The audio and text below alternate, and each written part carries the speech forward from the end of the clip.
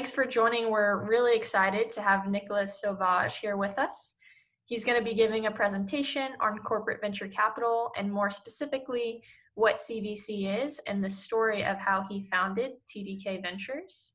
Um, Nicolas is the managing director of TDK Ventures, which is the corporate venture capital arm of Japanese electronics manufacturer TDK Corporation, which is based in San Jose, California.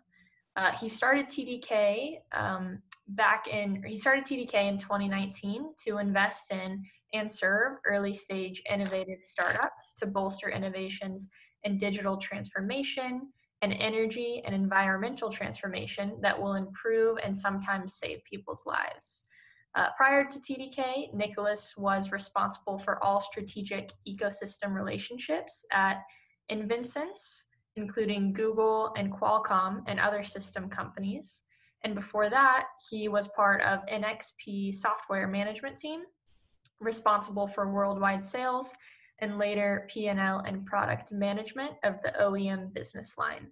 Uh, he's an alumnus of Stanford, INSEAD, and the Higher Institute for Electronics and Digital Training in France, as well as the London Business School. Um, so, with that, Nicolas, I will hand it over to you. Again, really excited to have you here with us.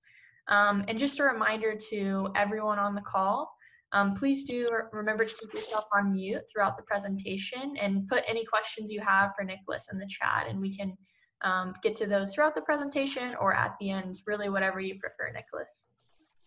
Very nice. Thank you, Rachel. It's very nice to be here with you guys today. And I'm impressed you, you said my name with a French accent. Really nice.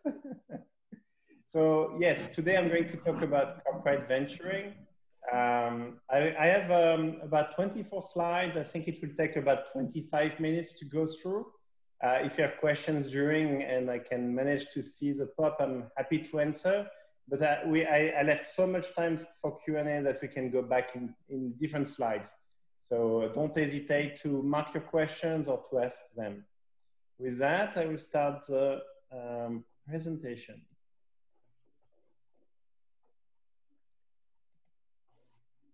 All right. You see it full screen? Mm -hmm. All right, very good. So very quickly, TDK. Uh, I don't know if all of you know TDK. Um, if you're below 35 years old, it's not obvious. If you are above 35 years old, you will remember the tape and the cassette. Um, what's nice to know, and this slide is really nice to show, is that it's a company that keeps growing, but uh, across multiple pivots. And so you can see that some business went really nicely up and then went to zero.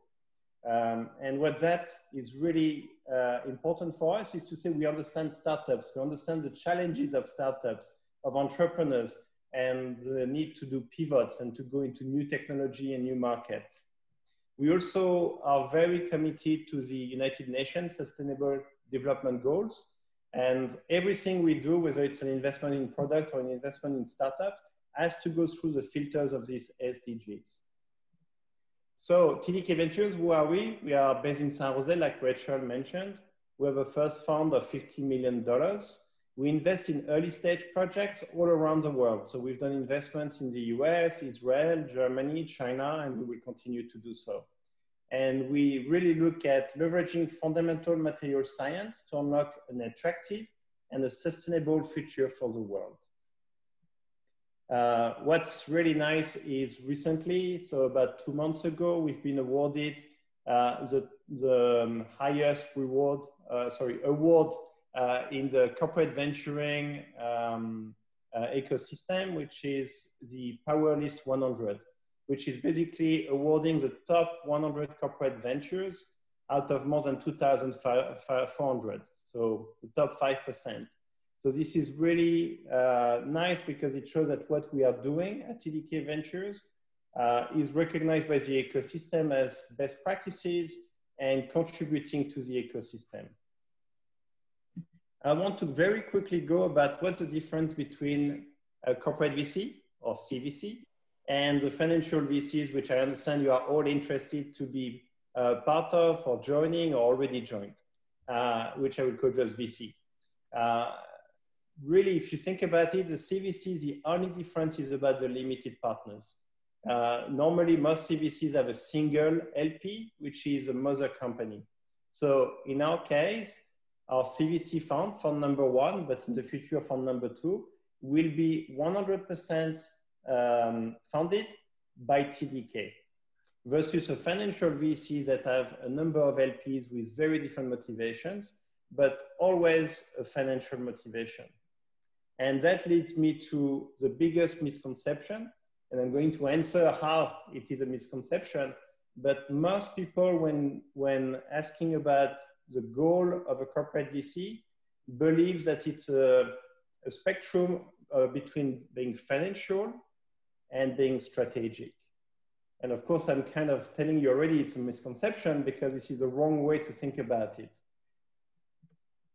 So let me then tell you a bit about the story about TDK Ventures. I proposed this project back in 2018, just after I finished my program at Stanford, uh, Stanford Executive Program. And during this program, I realized that TDK needed a corporate VC. And the reason is TDK is very good at exploitation. And exploitation, the best way to look at it is you're in a mountain. It's a very tall mountain. Your company wants to go to the top of that mountain, but you have competitors on the same mountain too trying to do the same. And exploitation is for you to be at the top, getting to the top.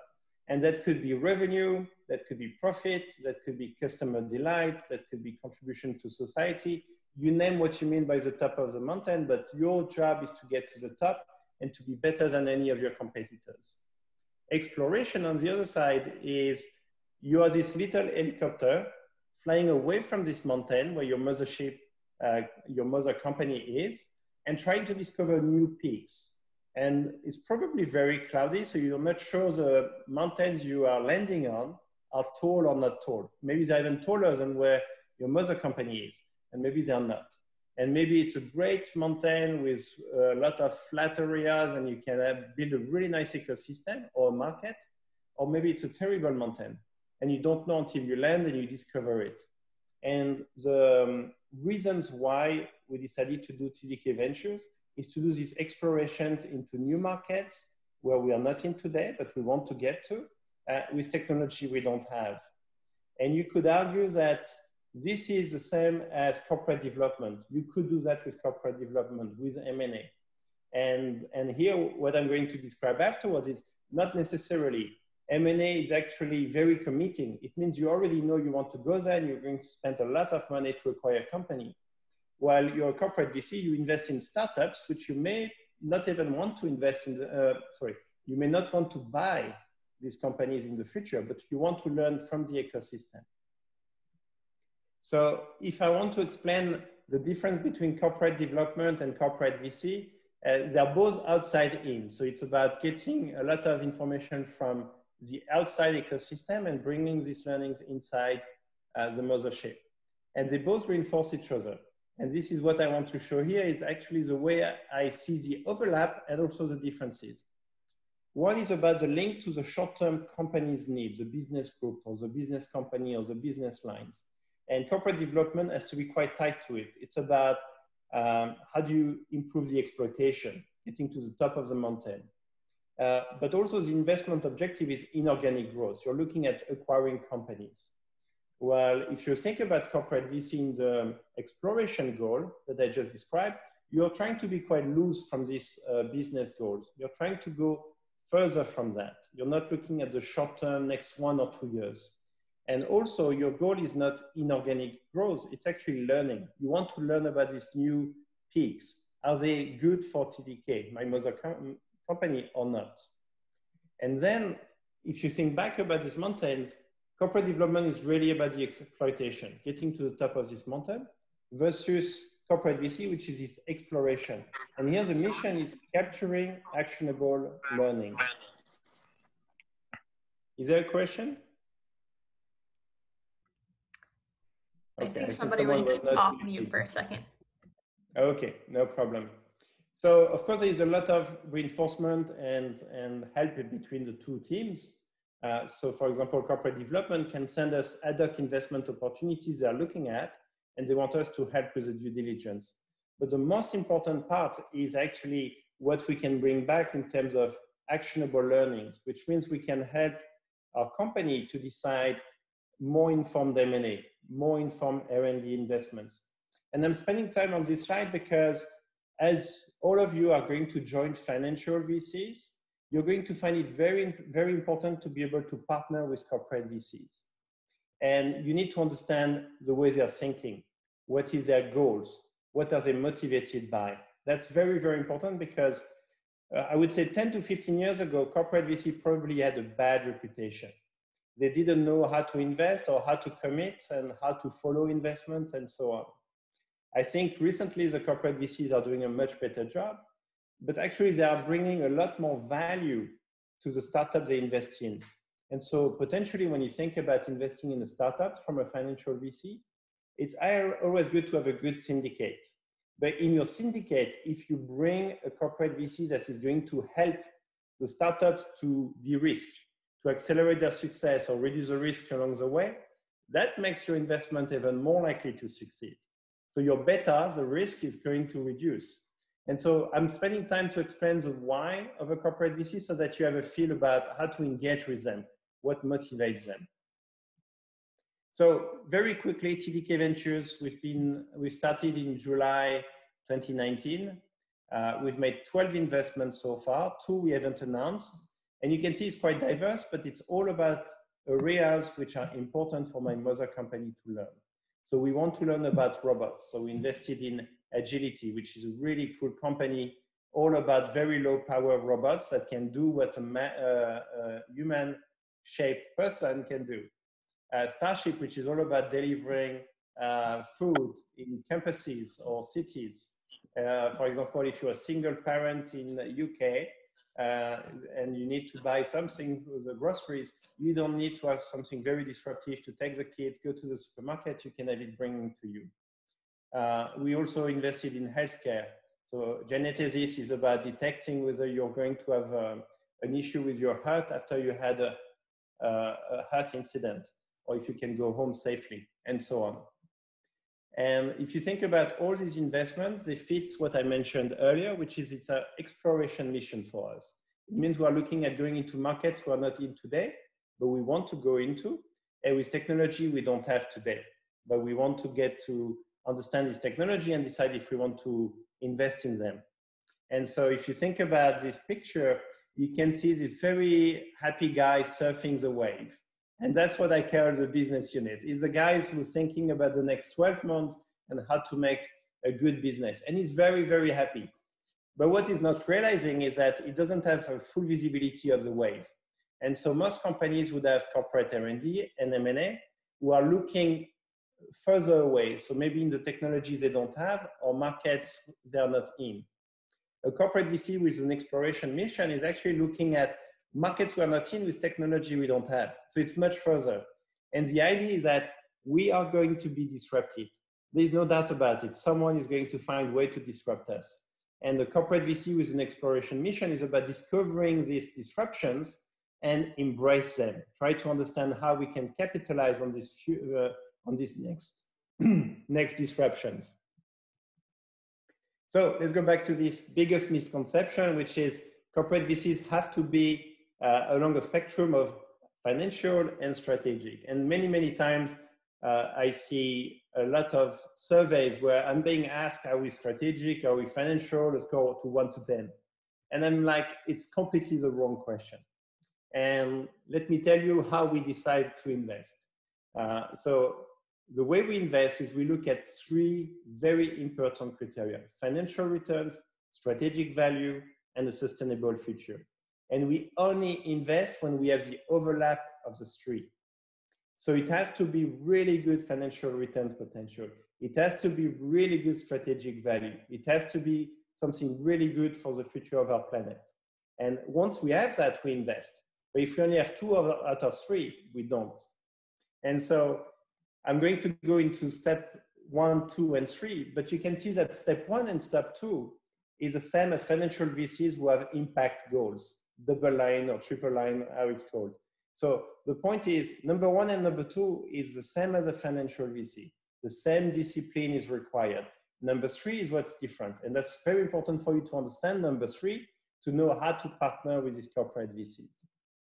So venture-like returns. I think you've covered that in many different uh, classes from GoingVC, but we're looking at very large market, TAM and SAM. And of course, we like to see that with a high level of customer pain. Why would this startup bring something really, really valuable in a very, very big market? Uh, so of course, explosive markets, high barrier to entry. So we really like companies that uh, can be very sticky and, and very hard to change. Uh, and of course, we want to have an unfair advantage uh, with these startups. So something that's very special about them, whether it's a team, whether it's the uh, approach, the technology, something that's really special for them. And of course, we are looking at returning the fund. So every single investment we are making, we want to make sure that each investment could actually return the full fund.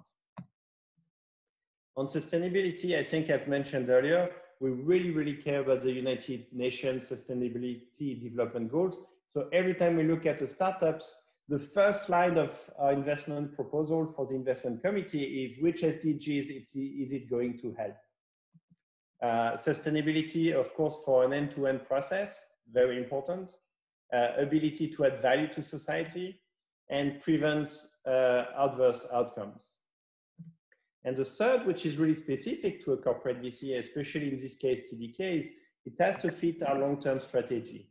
So for example, long-term strategy of TDK is to start to contribute more and more with our sensors, our batteries, and a lot of our technology to medical space. So that means that when we look at a medical company that needs sensors and batteries and all of that, we may want to invest because it fits the strategic. But it has to be a startup that fits the first two criteria before we even get to the strategic fit. Uh, what's nice about corporate VCs is that they have the corporate behind them. So that means that we are going to look for clear-cut synergies with our business units, with our R&D teams. Because if we find this win-win, that's going to really help the startups go faster, and that's going to help us to learn more about these new mountains, these new peaks. And actually, this synergy, we call them um, TDK goodness. And the reason we call them TDK goodness is we want these synergies or, or level of help to be something the startup and the entrepreneur choose to take. We are not going to force any of them. It's a Chinese menu and they choose what they like and what they don't like. Uh, of course, we want to justify we are going to learn about these new mountains beyond the investment. So this is indeed much more than the financial.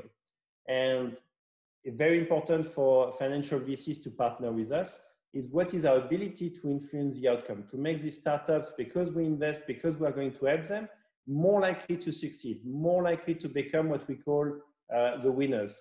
And one of our criteria when we look to invest is to search for the king of the hill. So we're looking at which company do we believe are the winners in a small market that's going to have an explosive uh, growth and therefore are more likely to become the king of the mountains. And of course, we want to leverage our deep expertise inside our mother company to build unique insights. What it is that we know that very few people know that makes us believe our investment will be correct. And I'm sure you've gone through that a lot with GoingVC, but you make really good returns when you're right and most people are wrong. So you need to build these unique insights that not many people know or understand. And you're going to get it wrong from time to time. There is no doubt about it but you need to build this on your conviction about what do you think is going to be the right future. You make your bet on this and hopefully you get the returns because very few people saw it at the time. So let me give you a real world example of an investment we made, which was our first one. And I could speak the same way for all our investments. Um, Starship. So this is a company from Estonia in Europe.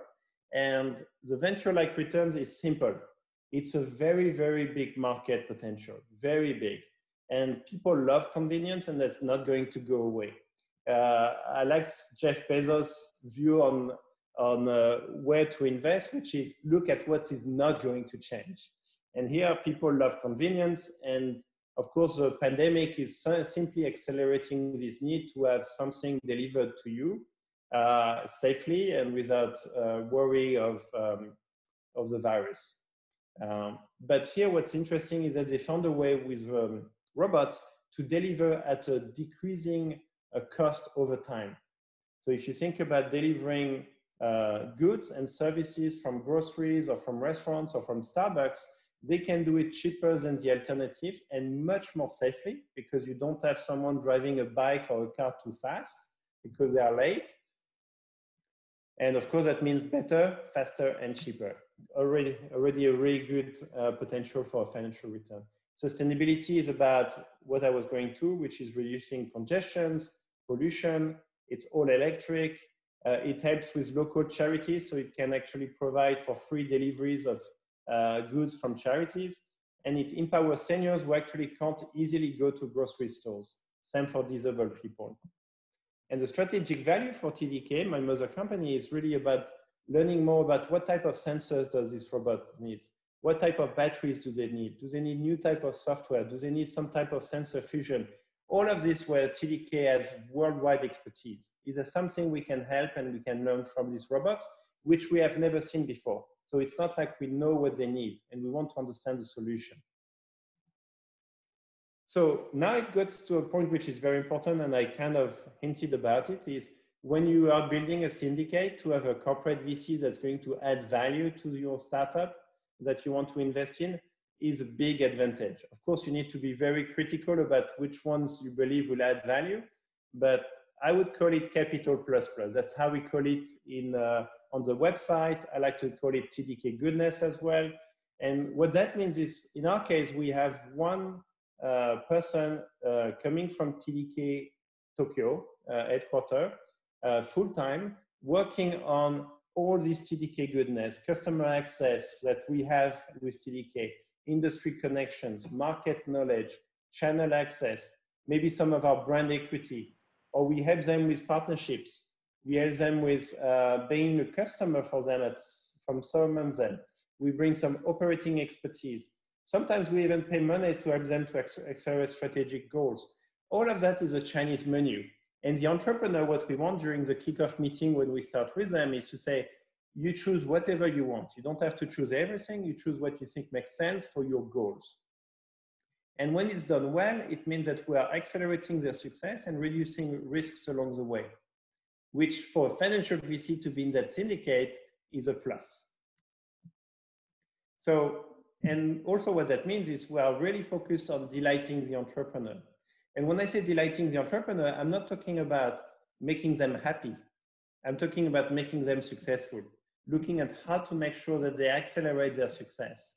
And here, this is two of the very nice testimonial we received from them already, but this is going to continue. I have no doubt about it. And one thing that we do, which is very special at TDK Ventures, is we have a net promoter score on the entrepreneur we are going to ask our entrepreneurs, one to 10, how likely would you recommend us to another entrepreneur?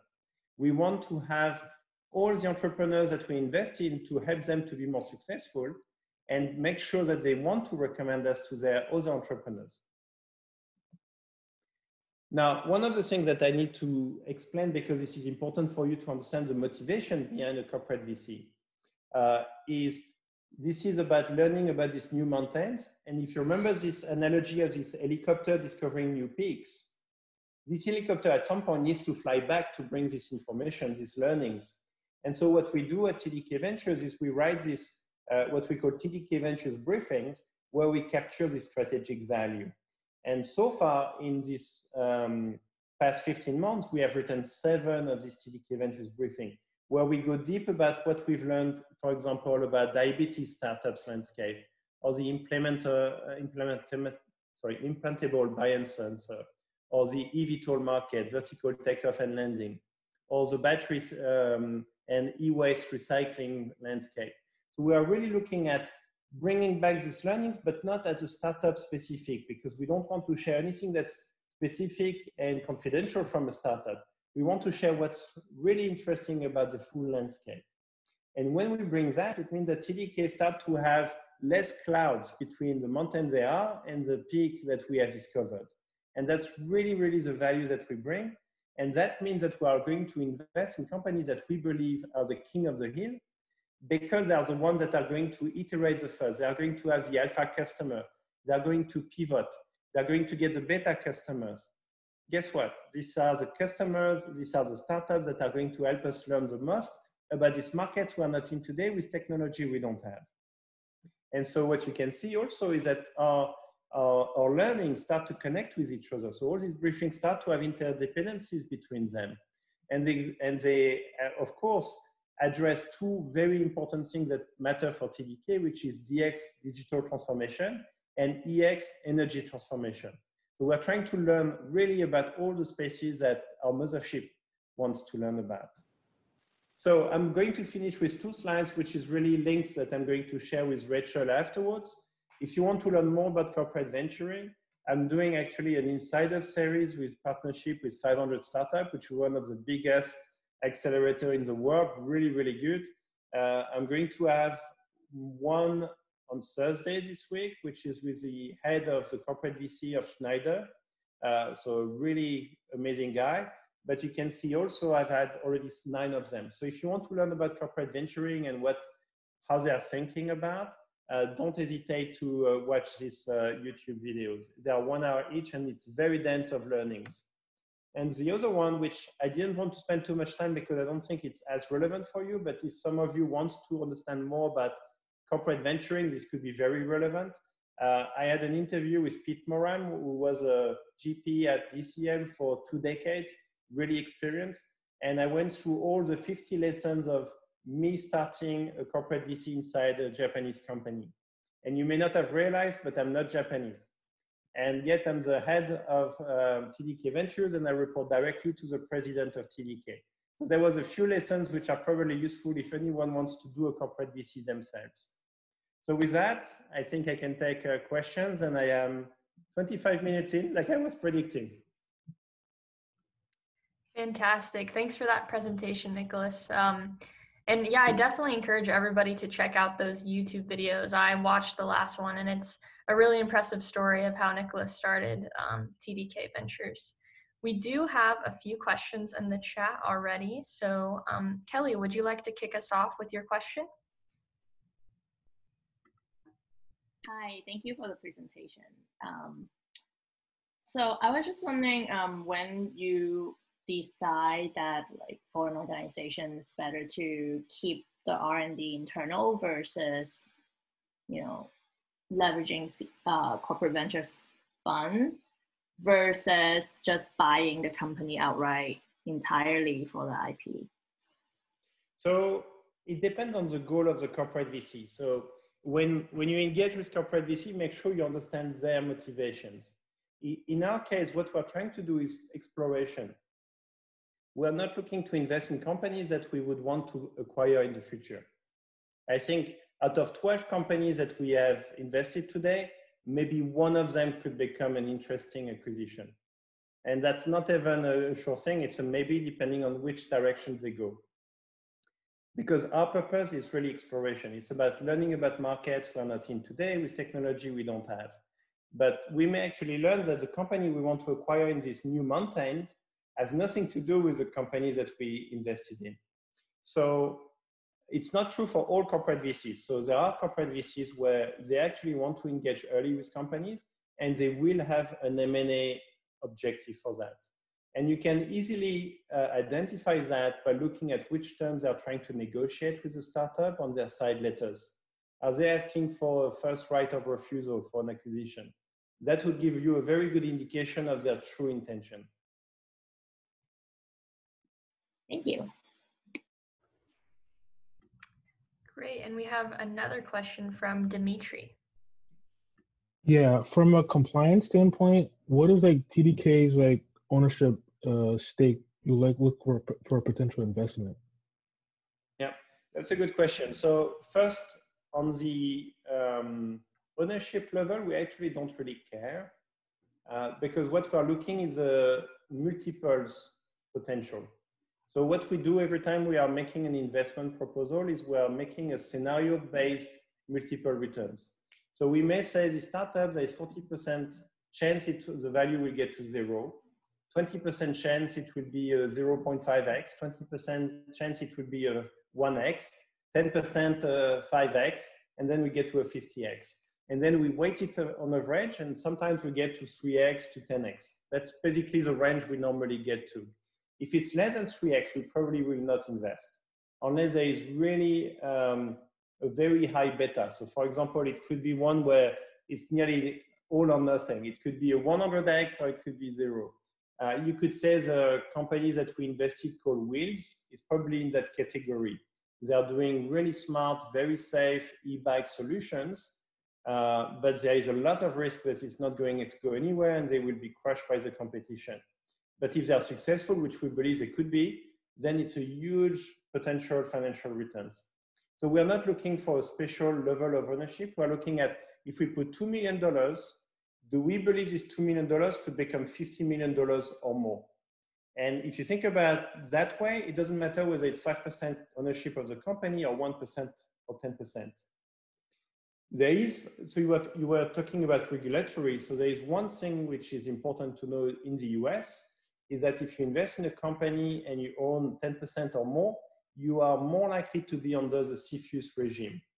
And we are not a US company, we're a Japanese company. So we have to be very careful about a level of ownership of 10% or more for US company. If it's outside the US, like Israel or Germany, like we've done, or Estonia or, or um, even China, we don't, we don't worry about this. And we would be very happy to get 15% or 20% ownership. But if it's about US, we would probably want to be at just below 10% or even lower.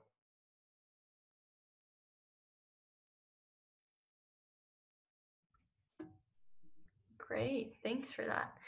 Um, one one question I had. So, could you tell us a little bit more about um, kind of your investment team makeup and the decision making process? So, you mentioned that you report directly to the president of TDK, which is obviously quite unique to CVCs. Could you tell us a little bit more about that?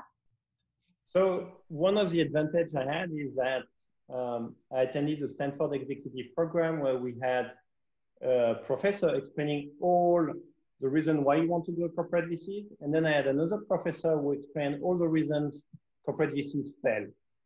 so it was like, I, I, understood why we should do it. And then I understood why we, we should be very careful about how to set it up. And, and one of the statistical um, learning from the best bad, bad practices was to have the reporting line to be either fuzzy or to the CTO or to the CFO. And it was very important to get a reporting line more to the strategic officer, whether the CEO or the CSO. Uh, so that's a very good question where when you meet with corporate VCs, I think there is value to understand where they report to because their motivation will be very different. Uh, so if, for example, you learn that a corporate VC report, report to the CTO, you're going to have investments that are more driven by learning about technology, more about the operation side, but not necessarily about making them successful. So you have to be very careful about this. So this is a very good question. Um, actually, our team is, is small. I think I have um, a picture of it in my um, second slide or third slide. Uh, we made uh, efforts to make sure this was diverse. And when I say diverse, there are many ways to say it, but there is also the, the element of I was looking for people who were not from TDK. So we we had a startup liaison who was from TDK because he needs to understand all the different business groups in the company. But I was also looking for two investment directors who actually are not from the corporate VC. I didn't want to have anyone who came with a prejudged view about how corporate VC should be. I wanted to make sure we started with best practices from the beginning. And so maybe it's, it's, it's encouraging for your audience, but uh, we were actually looking for people who had a very different background and they would bring um, uh, something new to the mix. And the way I like to think about decision making is if you have three people who always agree with them, you only have the value of one brain. But if you have three people who are thinking very differently, you have three brains. And I like to think that the three brains will be much smarter uh, to think about all the reasons to invest and not to invest than a single brain. So when I recruited Andrew and Anil, my two investment directors, I looked at them because I knew they were thinking differently from me and they were thinking differently from each other. Now, on the decision making, I think one thing that I made by design is that I do not have, I do not have a veto right. So as long as my investment director are well researched, they have uh, conviction, they have good explanation why this um, uh, company and the startup could be very successful, I will not veto it. They can go ahead with the investment proposal. And the reason is, it's back to what I was saying earlier, you need to be right when most people are wrong. And that starts with your own team. I could be wrong and I don't want Anil, for example, to be right about something and I don't believe it and we don't invest. He will probably get it wrong many times, but the few times he will be right when all of us are wrong, that's when we return the fund and more. Really interesting. Thank you for sharing that. Um, one more question that I think would be interesting for the group, and you touched on this a little bit in your presentation. I think it was the slide uh, titled Capital Plus Plus, but really kind of the um, value adds that you bring to your portfolio companies. Um, would you be able to share maybe a few examples of, of what that looks like? Very good. So let me put back this um, screen first. Do you see it? Mm -hmm. Yeah, great. So first I can tell you, apart from the title I changed for you guys, uh, this is a slide I show to all our potential um, uh, startups, uh, entrepreneurs, and uh, VCs.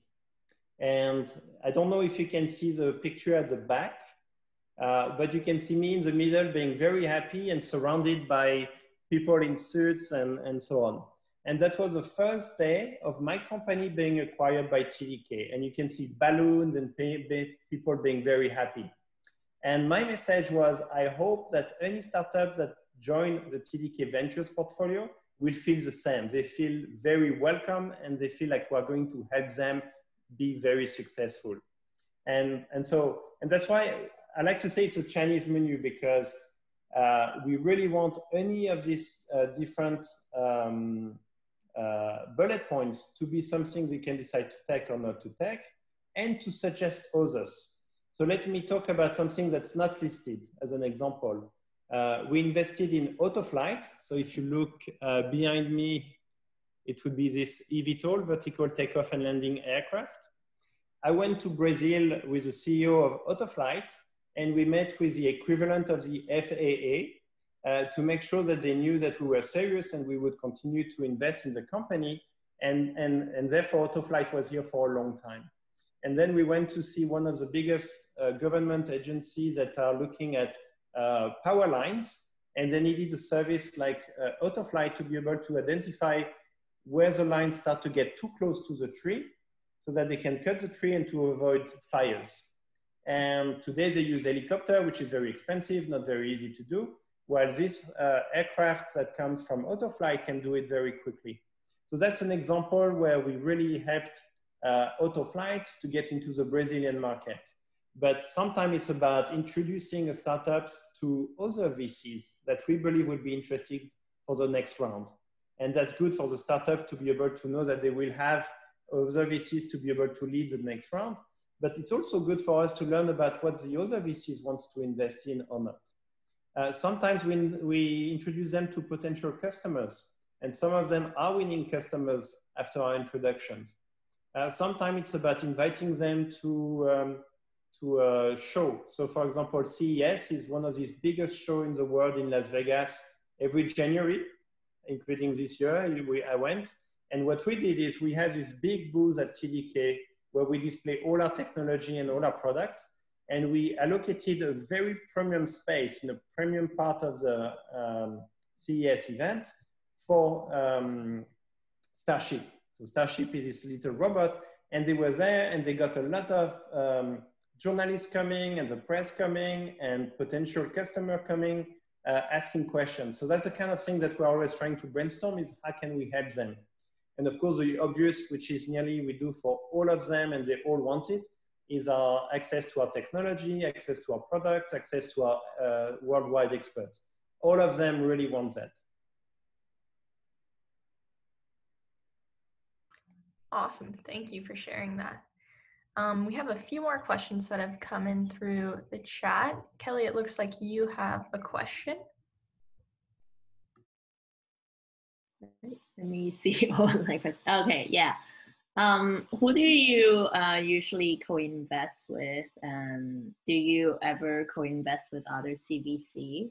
Um, because you know that's another corporation. Maybe there's yeah, yeah.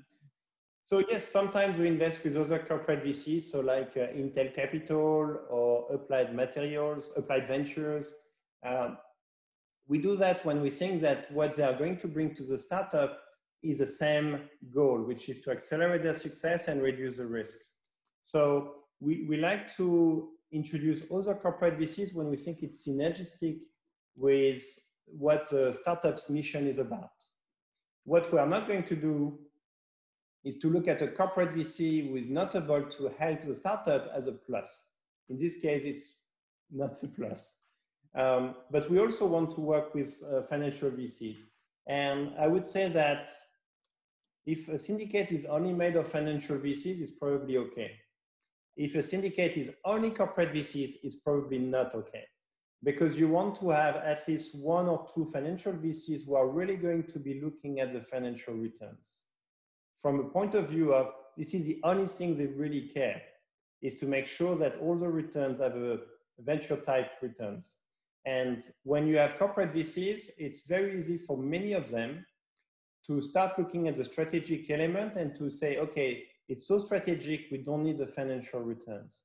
And in our case, like I mentioned, we want the financial returns. So to have a financial VC in the syndicate is helping us to validate that it's not just us believing it will be a good financial returns, but others can also believe it. Oh, thank you. Let's see, um, Fez has our next question. Uh, thanks, Rachel. Hi, Nicola. Thanks for the insights on partnering with uh, financial VCs, partnering with corporate VCs. One question that I had is how do you manage your deal flow? Do you go out in the market? Do you go out to labs who are in the tech space, or do you partner with, say, financial VCs to get a better deal flow coming in? Is is very diverse. Um, what I'm actually really pleased with is, as of today, we reach 1,200 deal flow uh, for 12 investments. So we are in this very healthy 1% of deal flow to investments. Uh, to be honest, it's not, it's probably what we call a vanity KPI. I don't think it really matters to be at this 1%, but I think it's a good, uh, healthy ratio to look at. You don't want to get to a point where 10% of all your deal flow becomes investment. I think that that's probably not a good discipline. Um, we we try to so first we have the incoming and the incoming could come from partners so for the first six months of starting tdk ventures we probably contacted 140 plus vcs and cvcs and universities and accelerators trying to tell them what we can bring to the startups so i wouldn't be surprised that half of our deal flow came from this outreach where we explain what we could add value to the startups and being very consistent after that on delivering on it and making sure that they knew about our progress over time. Uh, quite a good proportion of deal flow, and maybe it's 100 or 200 of them, uh, comes from TDK employees recommending startups that they meet. I haven't mentioned it, but TDK is 105,000 employees. Uh, it's highly technical, so we have a chance to meet with really good companies before everyone else can see them. And because we are making clear to everyone in TDK that they can recommend um, companies, we are getting a nice deal flow from that. And then what's happening is, remember I said that we are looking for king of the hill. Well, that means that when we do our due diligence, we spend a lot of time to make sure they are the king of the hill, which means that when we look at one startup we are, we've been recommended, we start to look at probably at 30 or 40 other companies. And we probably talk to at least five or 10 of them that feel the most promising to decide who is the king of the hill. And of course, that becomes a deal flow in itself. So I would say our due diligence is probably a, a one third of all our deal flow is that this is us approaching them and trying to identify if they are the king of the hill versus the one that was coming to us. And I think I think more than half of the time we find the king of the hill is not the one that approached us, but the one that we find afterwards by just reaching out. And the way we reach out is very different. We can look at PitchBook, we look at different database, we go on the website, we search online, That's where I think some of you who wants to be associate or analyst is really cool because you get a chance to really learn a lot about a space and to identify who you think is going to be that king of the hill. And once we have that, we can really go back to our investment committee and to say, we have looked at so many companies and this is that one that really matters. This is the one that is most likely to win and to pivot first and to get the better customers, which means more strategic value and more financial returns. Thank you. Great. Um, Dimitri has another question. Sure. I wanted to learn more about the fundraising process for like a corporate VC because I know you have different strategic. You can do like M and A, and you can have also invest in your core business. So how's like the allocation process to get capital for like your fund? So in our case, it's purely exploration. So it's 100% about learning about new spaces. So we don't have um, an allocation for um, M&A. That, that's actually a different team inside TDK. Um, what I can say is uh, we were planning to have 40% of our fund as reserve for follow investments. And when COVID-19 started, we felt like we needed to make sure we stand by our portfolio companies even more so. So we decided to increase our reserve to 50%. So in terms of allocation, we have no allocation like you're thinking about, which is between uh, M&A or not, but we do have an allocation for follow investments. And so for the startups we believe will be needing us and will be successful, then we actually have a big chunk of our fund to help them and to make sure that they will continue to be funded. So I'm not sure I've answered your question, so tell me if not but we don't have an allocation otherwise. Seems like the bulk is it for like follow-up investments after you find the right startups initially. Exactly. So the 12 companies that we have invested in, I think we will probably invest in three more with a fund. And then we have 25 million of our 50 million, which is going to be allocated to uh, follow investment on this 15. Okay, that makes sense. Thank you. Okay, it looks like Jocelyn, you have a question um, about the investment team. Um, yeah, so I uh, I have worked on a consultancy and I've worked with CVCs, uh, like Chevron Technology Ventures, and the team competition was since it's oil and gas, it was highly technical, and they were all previous, most of them engineering. Um, so for for uh, TDK, what is the team composition? I know you said that you didn't want people that were previously working at TDK, but what about like an engineer background, a technology background, or a finance background? What was the a particular interest area? Yeah, yeah, that's a very good question. So I'll start with our startup liaison. His uh, financial background accounting background in the past, so he doesn't have an engineering background. Yet he's the one who tried to understand how the technology is going to be helping different teams inside TDK and how different teams inside TDK can help the startup. So in a way, not having an engineering background for him probably means that he has to ask the questions to a point where it starts to make sense. So he has to simplify. And that means the entrepreneurs have to really make an effort to simplify things. And that's a skill for the entrepreneurs that we look for.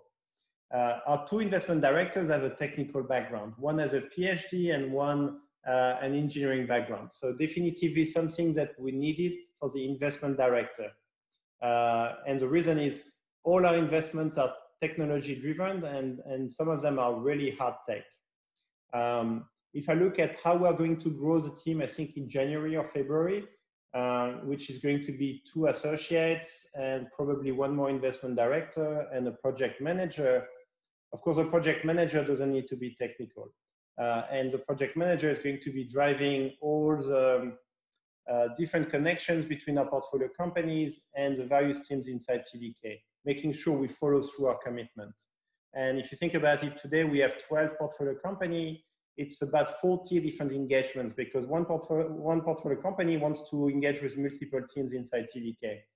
As we start to go into our fund number two and we start to have maybe 40 investments, that becomes 200 little projects to follow through. So I think project manager doesn't need to be uh, technical, but definitively needs to understand the technology enough to know where is the value.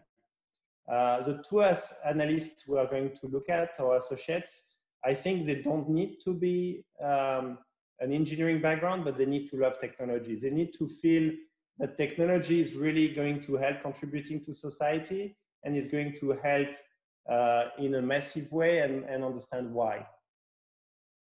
And then uh, the overlay is also about diversity of thought. So uh, looking for people who are thinking differently from the team that we already have. Thank you.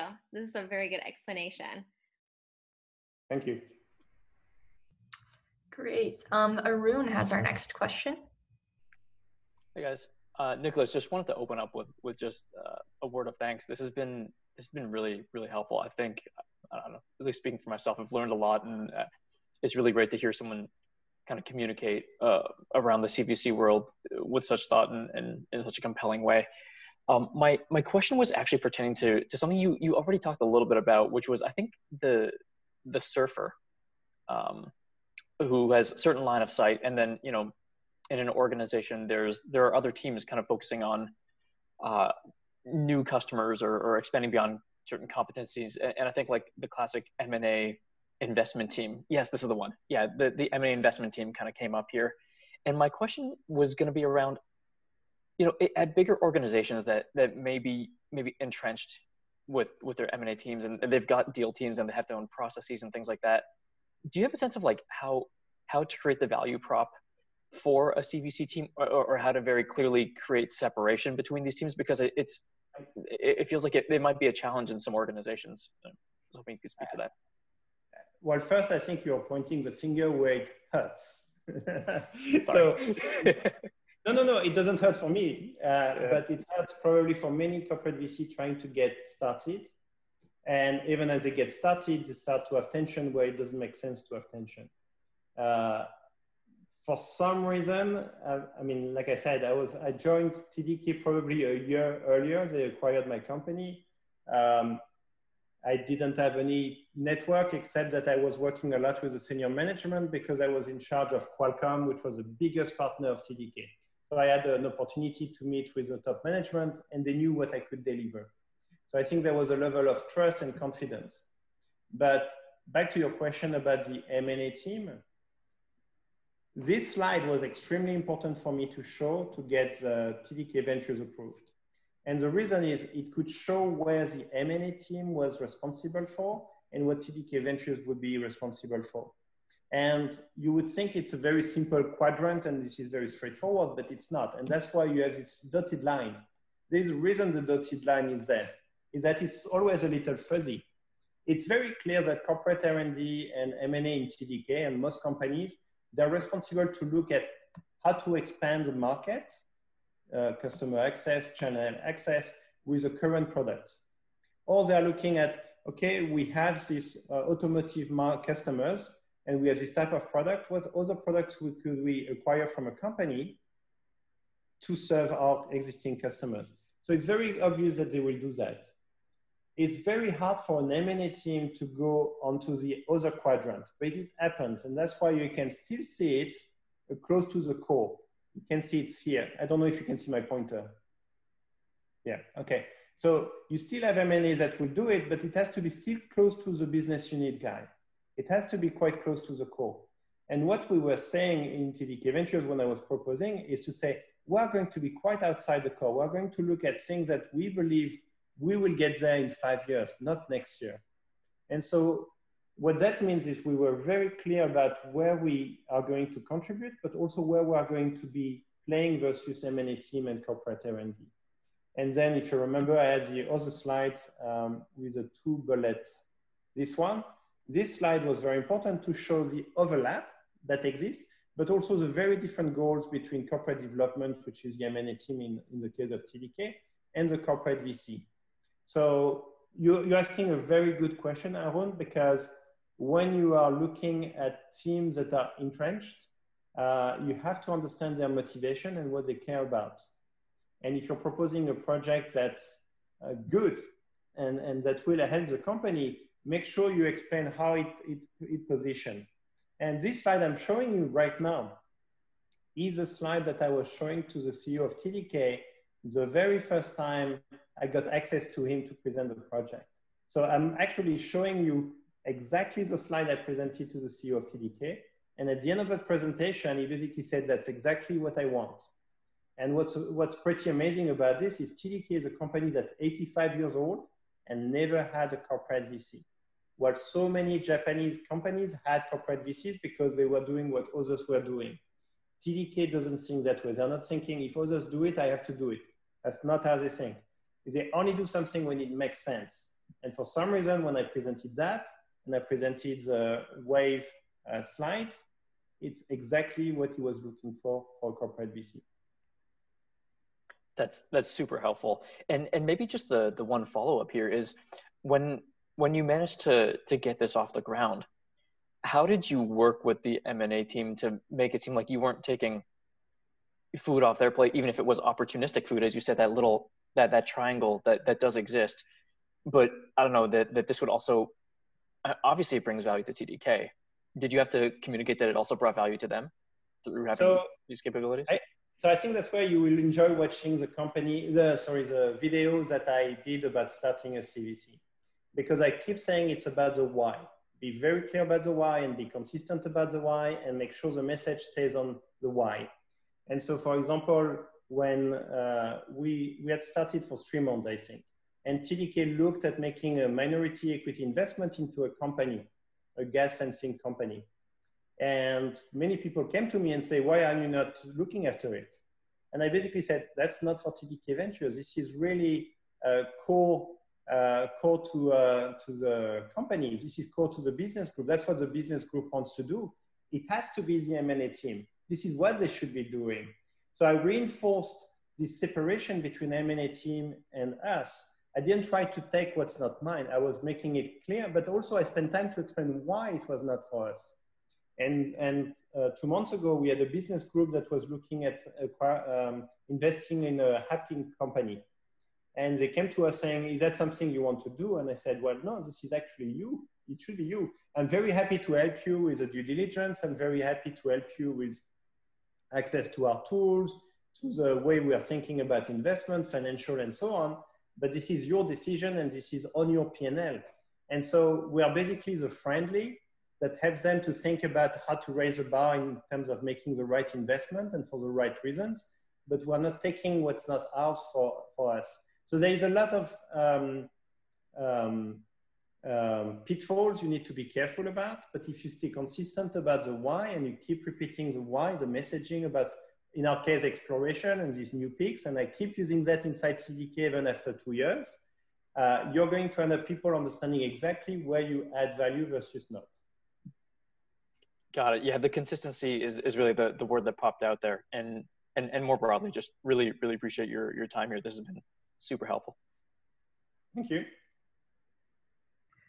Fantastic. So we just have a few minutes left till the end of the hour. Um, and we had one more question come in um, from Sean, if you would like to ask that. Uh, yeah. Hey, how's it going? Thanks for taking the time. Uh, I know I know the ARM is quite new, but out of curiosity, what would happen if one of your competitors uh, acquired one of your portcos down the road? Would you get upset? Would you, you know, flip the table? What would you do? Well, if it's a 50x return, I would be very happy. Oh, yeah, I saw the party on the slide earlier everyone will get another party, right? no, but to be honest, any of our companies, if they if they find a good home and it's a good financial returns, we will get a lot of value, a lot of value, because any good exit is going to actually be really really good for us. Uh, like I said, out of 12 companies, uh, 11 of them are clearly not an M&A target for us, so they're obvious. And one that might become if it's acquired by competitors then it's okay because this is about us being best practice. What would happen is of course if i learn that they are being approached by a competitor i'll check with my management saying guys are you interested? Because at the end even if it's tdk buying it at a good premium it will still be good for my financial returns. So i, I actually don't mind that the, my company and my competitors start to bid over it it will be good for me so at the end of the day, we're not doing this for an M&A um, goal, but if it was our goal, then I would probably respond very differently. But because our goal is really about exploration and learning, uh, I can even make the point that I showed you this TDK Ventures briefing, which is about capturing learnings that we have done during, we have captured during the due diligence, right? Some of them came from a space we have done a due diligence. We learned a lot. We captured these learnings and we did this briefing, but we decided not to invest because we didn't like the space enough. Or uh, we decided it's not quite ready for us to invest, but we learned a lot, so we share these learnings. And some of them was where we invested. So I, I can actually easily argue that we bring value already, even when the company gets acquired by someone else. All right, thank you. Fantastic. Well, Nicolas, thank you so much for taking the time to speak with our group tonight. Just to echo Arun's comments, I think it's been really insightful and gives our members a much better understanding of corporate venture capital. Um, I will share the slides with everybody as well as the recording. Um, and also I'll be sure to share the webinar series that Nicolas um, suggested especially the one on um, starting a corporate venture capital firm. It's super insightful. So, again, Nicolas, thank you so much for your time. Thank you, Richard. Thank you, everyone. Bye.